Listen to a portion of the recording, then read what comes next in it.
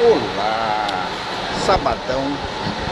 Hoje eu podia estar jogando futebol à tarde, mas estou aqui na estação de Bruges esperando o trem para Antuérpia, que sai às 10h04.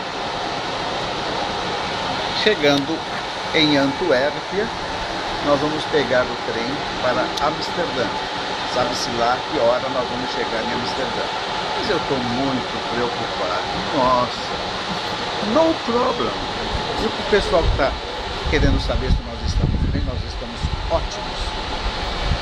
Ok.